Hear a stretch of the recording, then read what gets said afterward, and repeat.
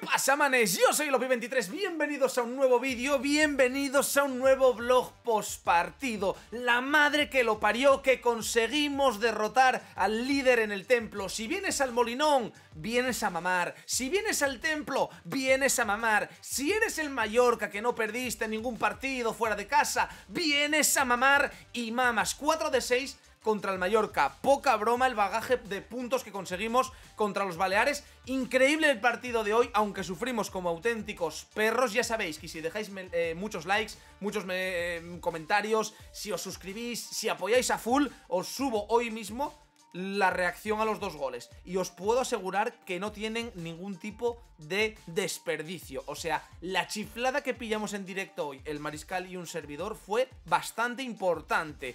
Dicho esto, victoria muy importante por muchas cosas. La primera, porque son tres puntos contra el líder. Que eso, ya tanto en clasificación como anímicamente, cuidado, porque te meten un punch de la hostia. O sea, tú ahora mismo coges, pum, ganes al, al Mallorca y dices tú, joder, acabo de ganar al líder, que no había perdido fuera ningún partido.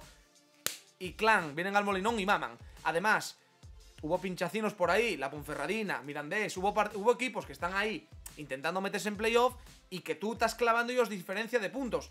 Y más aún, por ejemplo, con el pinchacín también del español. No puedo evitar pensar en los dos puntos que nos eh, robaron contra la Ponferradina la semana pasada. No puedo dejar de pensar en ese gol que nos anulen completamente legal. No entiendo por qué se anula ese gol todavía. La gente, muchos me dijeron que fue falta de Mar Valiente. Yo creo que eso ni falta ni le polles, pero bueno, cada uno que piense lo que quiera, cuando irroben a su equipo dirán que eh, no es falta, cuando irroben al Sporting sí es falta, ¿vale? No voy a decir mucho más, simplemente me, mm, me jode porque en el postpartido de la semana pasada lo hice muy caliente y pido perdón porque sí que realmente no hablé de fútbol y me gustaría destacar el partidazo de la semana pasada de Pablo Pérez, ¿vale? Porque no di el justo merecimiento, el valor que, merecía ese partido y que yo creo que tenemos que ver hoy a, a Pablo Pérez. Entonces, quiero dejar esa puntualización ahí por la semana pasada. Pero vamos con esta semana, hermanos, que conseguimos ganar al Mallorca y estamos overpowered. Ahora mismo, bueno, yo voy con el rabo serbio montenegrino más inflado que el cuello de un pavo justo antes de Navidad. Increíble, hermano. Increíble estos tres puntos. Doblete de Yuca, ya lleva 19 bolas. Había empatado al Guachito Santos y ahora ya lo supera. Creo recordar que el último delantero que marcó muchos, muchos, muchos goles con el Sporting en una misma temporada fue Stepovic con 23. Yuka lleva 19. No lo tenemos para los dos próximos partidos. Si no me equivoco, son los dos próximos. Alcorcón y Rayo Vallecano. Si no me equivoco, hablo de memoria. Pero bueno, en cualquier caso, eh, la semana pasada no estuvo. Marcó Pablo Pérez, esta semana volvió, hizo doblete y ahora se va con Montenegro. Si queréis hablar del tema de Montenegro, subí un vídeo esta semana, ¿vale? Tenéis un vídeo de Montenegro, dando mi punto de vista de por qué con la selección sí, por qué con la selección no. No sé, un poco mi punto de vista de si está bien que se vaya, que renuncie a Serbia, toda esta puta mierda. Entonces, si queréis verlo, tenéis un vídeo en YouTube, pues podéis ir a verlo, que para algo lo grabé. Vamos a hablar del partido 2-0, ¿vale? Victoria, contundente, sí. Mariño, ¿peligro? Real, no. No hubo un peligro en el cual, digamos, hoy Mariño nos salvó. Sí que es cierto que la segunda parte sufrí mucho por el tema de que vi que nos estaban comiendo. Joder, acaba de empezar el Eibar Villarreal y ya está ganando el Villarreal. La puta que lo parió. Lleven dos minutos, joder. Bueno, nada, gol del Villarreal. Entonces, sí que considero que la segunda parte nos comieron. Nos comieron duro. Nos comieron duro y, bueno. Pero es que, escucha, la primera parte tuviste para ir yo 2-0 fácil. 2-0 fácil. Una que falla Nacho Méndez, clamorosa, que me enfadé mucho, la verdad, me enfadé mucho porque fue una jugada brutal de Campuzano que dejó a Nacho Méndez completamente solo y luego te hicieron un penalti brutal. Todavía hay gente que me dice que no fue penalti. Los que me decís que no fue penalti, mira, voy a deciros una cosa, venís y coméis de esta, ¿vale? De esta. Cogéis y hay para todos, ¿eh? Aquí hay para todos, ¿eh? Eso, eso, eso de mano, eso de mano. Porque hay un penalti como una puta casa. Como una puta casa. Que el defensa sea tuntu y no vea a Javi Fuego y pise y el talón. Pero hay penalti como una puta casa. ¿Visteis la Champions esta semana? Un penalti que hizo Lenglet. Pues este ya más claro todavía pisa y el talón. Y tenía que ser penalti y expulsión, porque la norma dice que cuando pisen talón y es roja, o al menos eso decían a principio de temporada.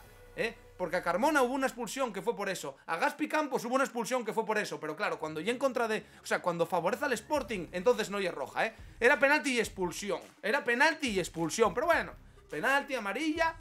Gol de Yuca de penalti, que lo tiró de puta madre, la verdad. Engañó al portero perfectamente. Y luego, bueno, eh, tuvimos esa de Nacho Méndez. En la primera parte no hubo mucho más. No hubo mucho más. Un partido controlado.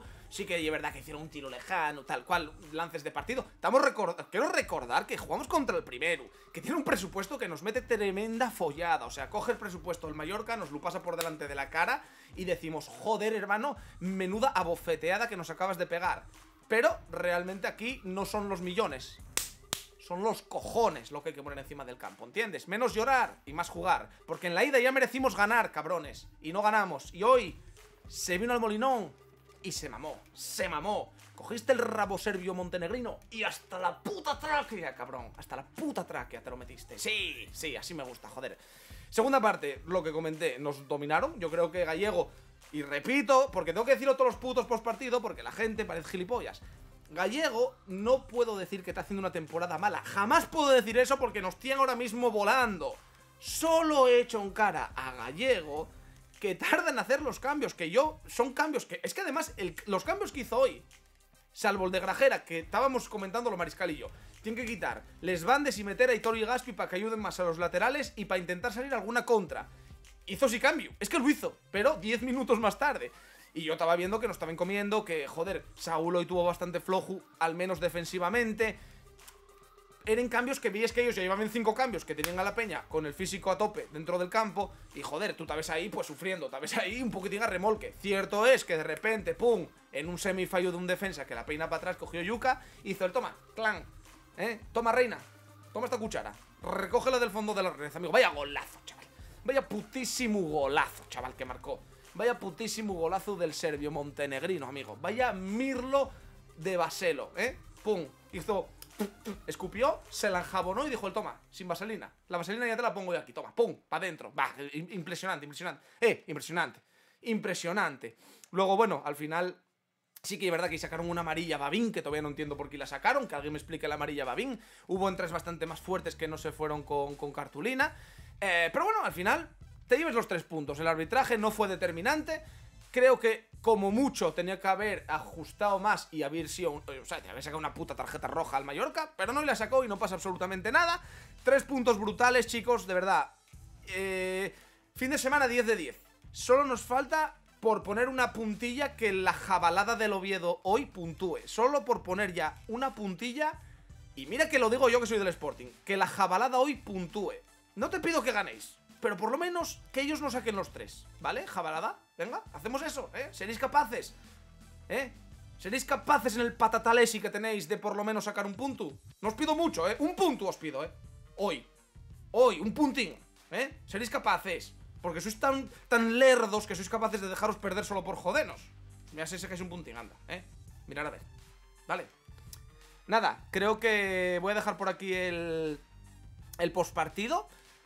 Creo que está bastante claro todo. Cualquier cosa que creas que no dije, pues abajo en comentarios puedes opinar y yo, si veo que mereces mi atención, te responderé. Incluso puede ser que te deje un corazón o que te ponga un me gusta a tu comentario. Si veo que eres tremenda mierda, paso de ti, ¿vale? Así que nada, muy contento. Espero que, que estéis todos contentos, todos disfrutantes de este postpartido. La semana que viene más. Y bueno, pues qué subidón. Ayer el delicioso y hoy gana el Sporting. Mejórame este fin de semana. No te digo que, eh, mejórame esto. Yo creo que es imposible. Un delicioso más victoria del Sporting. Chapo.